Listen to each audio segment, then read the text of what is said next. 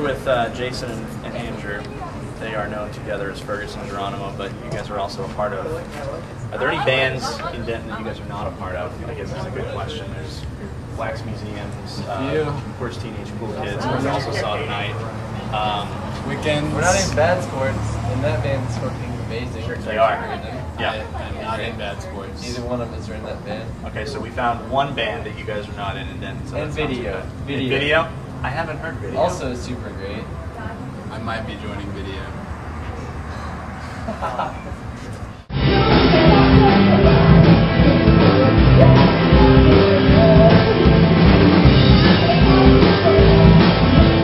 Does kind of surprise you guys how quickly you got a reaction for the little bit of music you put out there?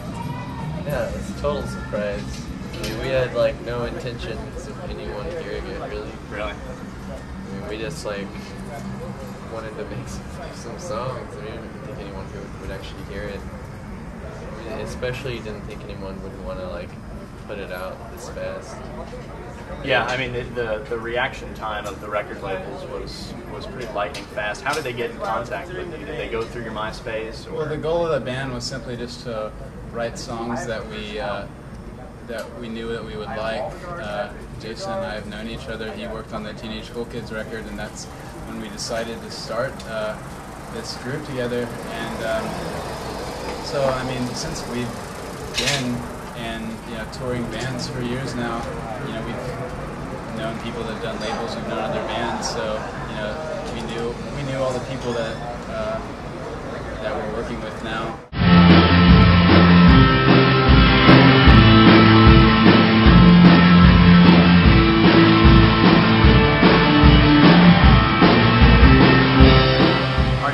Excited? It seems like you're a little uh, hesitant to be in the spotlight, but are you guys excited about going on this tour and getting all this exposure uh, across the country and kind of pretty much across the world?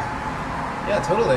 Yeah, absolutely. I love touring. Touring's a And as far as like what we do with our lives, uh, going on tour is probably the most fun. I'm in my uh, my happiest state.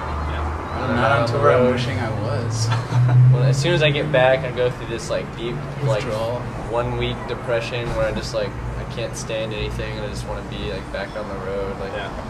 that's all. uh, We just like touring. Like I mean, even if people don't like it, like just the fact that we're like hanging out and getting to see the country or the world for these guys. It's, that's all. It's really it's fun.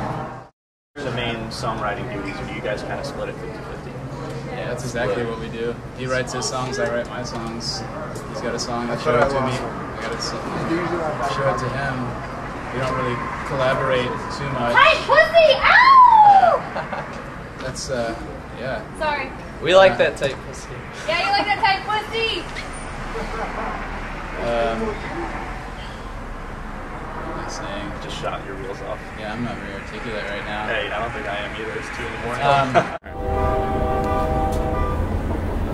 get the train. yeah, the train helps. All right, well, uh, I appreciate you guys.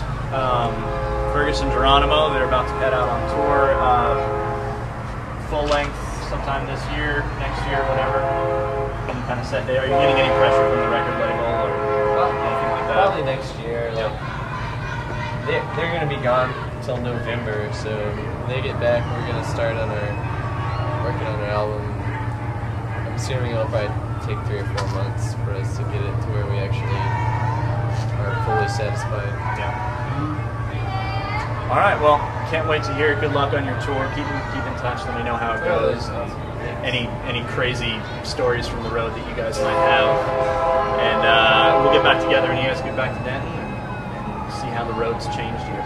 okay. At all. Excellent. Excellent. Fergus and Geronimo. Check him out on the local edge. Thanks for tuning